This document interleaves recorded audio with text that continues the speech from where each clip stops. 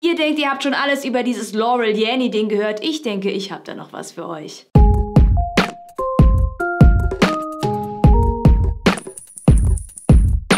Für alle, die es verpasst haben, die große Debatte um welche Farbe hat das Kleid, Weiß-Gold, Weiß-Gold Forever, ist zurück in Form einer Audiodatei. Laurel.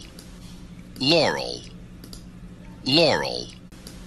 Laurel. Was hört ihr? Laurel oder Yanny? Stimmt hier oben ab. Wie kann es sein, dass Menschen zwei so unterschiedliche Wörter wie Laurel und Yanny verstehen? Hier drei wissenschaftliche Erklärungen. Nummer 1. Wir hören höhere Töne verschieden gut. Dylan Bennett, ein Game Developer aus Portland, hat dieses Video mit der Welt geteilt, wo er demonstriert, dass die tieferen Tonfrequenzen eher nach Laurel und die höheren eher nach Yanny klingen. Laurel. Laurel.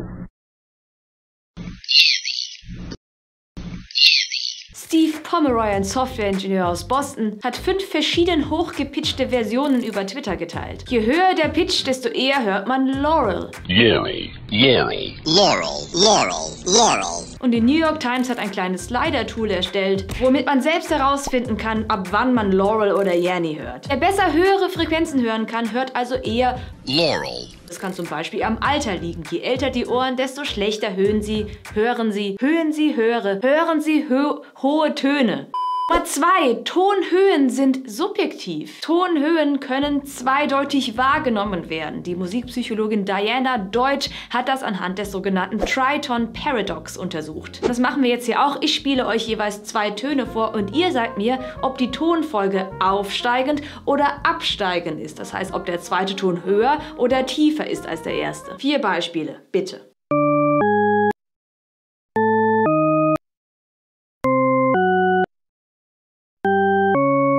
So, für mich war das jetzt gerade aufwärts, aufwärts, abwärts, aufwärts. Aber ihr hört vielleicht etwas völlig anderes. Schreibt es in die Kommentare. Wie kann das sein? Beim Triton Paradox nimmt man immer zwei Töne, die in einem Abstand, man sagt noch Intervall, von einer halben Oktave liegen. Eine ganze Oktave ist genau derselbe Ton, nur höher oder tiefer. Zum Beispiel C. Eine halbe Oktave entfernt vom C ist Fis. Und halbe Oktave heißt, der Ton Fis ist von beiden Cs gleich weit entfernt. So, die Töne, die ich euch gerade vorgespielt habe,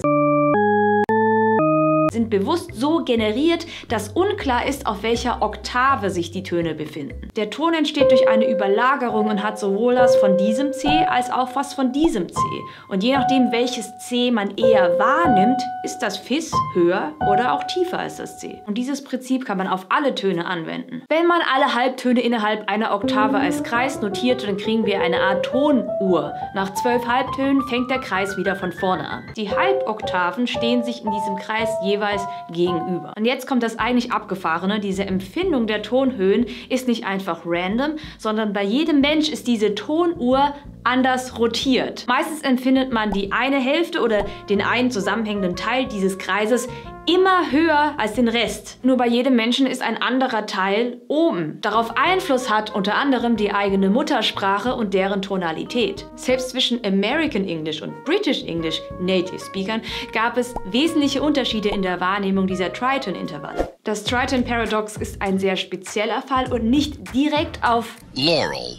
Laurel. Übertragbar, aber es würde mich nicht wundern, wenn die Abstimmungen Laurel vs. Yanny in verschiedenen Ländern sehr verschieden ausfallen würden. Hinzu kommt, dass entweder Laurel oder Yanny in einer bestimmten Sprache vom Klang her einfach vertrauter sein könnte als das jeweils andere. Und was uns vertrauter ist, das beeinflusst uns auch. Wer zum Beispiel eine Freundin namens Laurel hat, wird wahrscheinlich auch eher Laurel hören. Und damit kommen wir zu Nummer 3. Wir hören, was wir wollen. Unser Gehirn kann sich aussuchen, was es hört. Zum Glück. Sonst hätte ich auch große Schwierigkeiten auf einer Party, wo sich alle unterhalten, mich auf mein Gespräch zu konzentrieren. Probieren wir das doch mal. Ich erzähle euch jetzt was und ihr könnt mir zuhören. Ihr könnt aber auch der zweiten Hey, Mal Freunde hinter der der. Kamera Meine zuhören, die auch was zu sagen hat.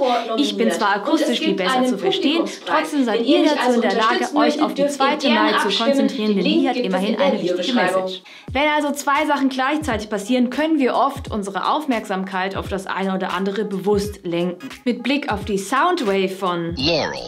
Sieht man auch eine Art Überlagerung. Die Aufnahme enthält sowohl Eigenschaften von Laurel als auch von Yanny. Am Anfang dachte man sogar, bei dieser Aufnahme handelt es sich tatsächlich um eine Überlagerung beider Wörter. Entsprechend gibt es ein paar wenige Menschen, die sowohl Laurel als auch Yanny hören können, je nachdem, auf was sie sich konzentrieren. Könnt ihr das auch? Schreibt es in die Kommentare. Manchmal hören wir aber gar nicht, was wir hören wollen, sondern was wir hören sollen. Okay, schaut mich an und sagt mir, was ihr hört. Ba, ba, ba, ba, ba, ba. Richtig? Und was hört ihr jetzt? Ba, ba, ba. Fa, fa, fa, richtig? Falsch. Ihr habt beide Male dasselbe gehört, nämlich ba, ba, ba. Aber eure Augen haben euch gesagt, dass ihr fa, fa, fa hören sollt, was ihr dann auch getan habt. Je nachdem, was ihr seht, hört ihr etwas anderes. Das ist bekannt als der sogenannte McGurk-Effekt. Und der hat viel mit dem sogenannten Priming zu tun. Professor Nina Kraus vom Auditory Neuroscience Lab von der Northwestern hat dazu ein beeindruckendes Beispiel. Hört euch das an. Was hört ihr? Geräusche, Rauschen, jedenfalls nichts Bestimmtes. Aber jetzt hört euch mal Folgendes an. The juice of lemons makes fine punch. Und jetzt nochmal das erste. Plötzlich hört ihr jetzt aus dem Rauschen dieses The Juice of Lemons und so weiter raus. The juice of lemons makes fine punch.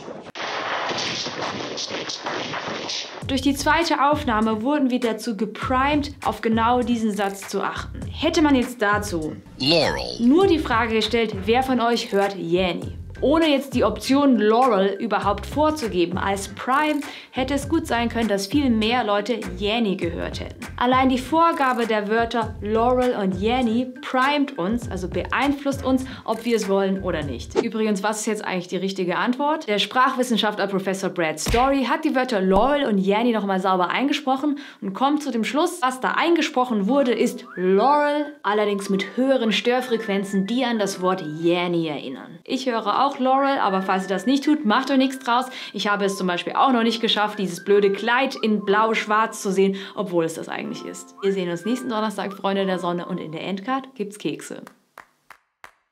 Das Internet ist so schnell, Freunde der Sonne. Inzwischen gibt es ja schon ein neues Laurel oder Yanny, nämlich die ganze Brainstorm Green Needle Geschichte.